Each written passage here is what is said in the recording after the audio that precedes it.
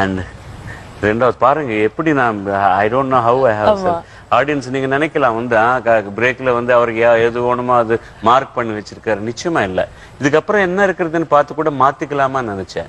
வேணாம் இது வந்து நான் நான் என்ன எடுத்தோனோ அதை பத்தி தான் நான் பேசினேன்.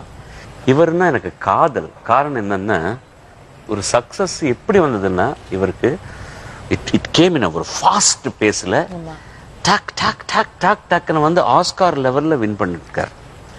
ஆனா இந்த பையனை நான் முப்பது வருஷத்துக்கு முன்னால என்ன பார்த்திருக்கிறேனோ அப்படியே இருக்கார் ஒரு மனுஷனாக.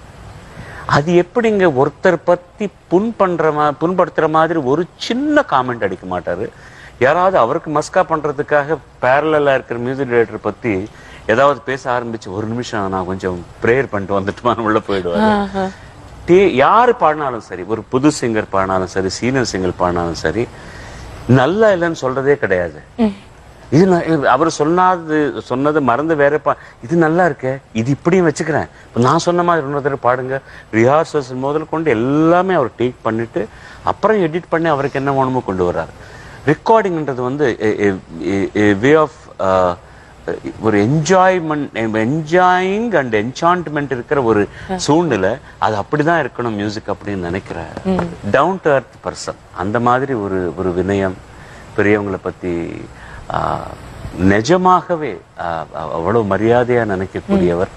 அவர் வே- அவர் யார் யாருக்கிட்ட வேலை பண்ணியிருக்காரு அவங்கள விசுவாசமா நினைக்கிறவர். அம்மன் அவர் கடவுளாக நினைக்கிறவர். ஒரு டெய்லி அஞ்சு நாள் நமாஸ் பண்ணாம இருக்க முடியாதவர். எந்த எது கிடைச்சாலும் உடனடியா கடவுளுக்கு அட்ரிபியூட் பண்றவர். எல்லாம் பக்கத்துல வச்சு இந்த தமிழ் மக்களுக்காக அப்படின்னு சொன்னார் பாருங்க ஆஸ்கார். அது இன்னைக்கு மட்டும் இல்ல for ages it will be remember. இப்படி ஒரு ஒரு nice human being great talent one of the finest genius இனிமேல் இந்த மாதிரி ஸ்பெசிமென் எல்லாம் இந்த ஸ்பீசிஸ் எல்லாம் பண்றது கஷ்டம்.